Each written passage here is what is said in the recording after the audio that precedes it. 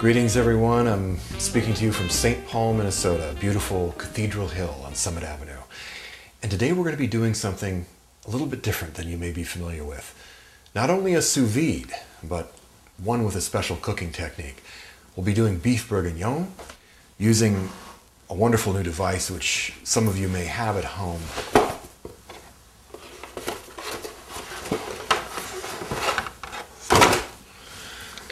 So when I first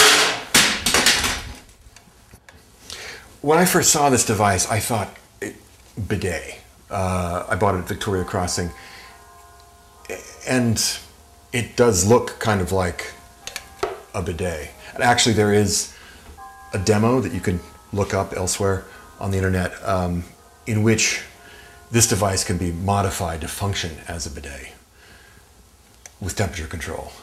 This, in my view, represents the highest fruition of the gastro digital age. It's the philosopher's stone. And indeed, it has been known to transform shit into gold. Um, but in the manner of the more practical late alchemy of people like Biringuccio and Sir Isaac Newton, the greats, the ones that showed us a new way.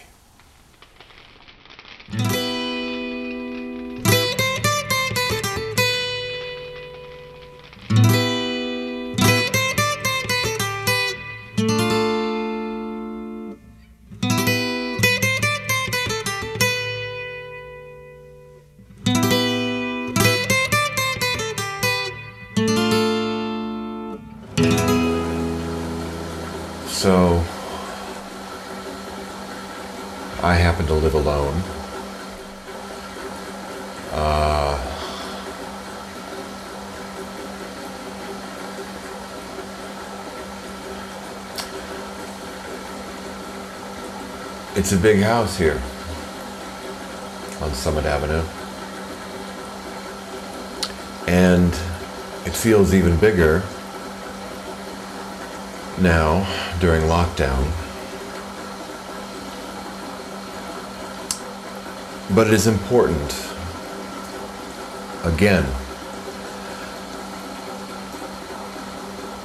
not to push this as a cooking method for everyone, but if you do decide to do this and you happen to live um, in a larger house, that's best. I mean, it would be best to live in a house with more than one bathroom for obvious reasons.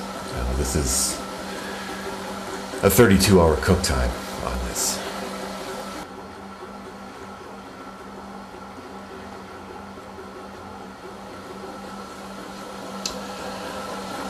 Someone was over here the other night and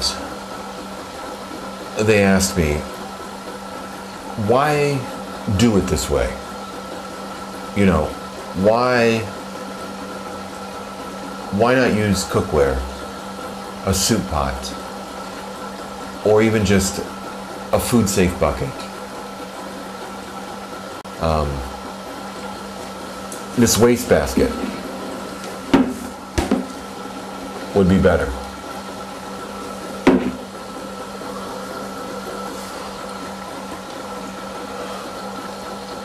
All I can say is maybe it works. Maybe it works. Is it going to kill you?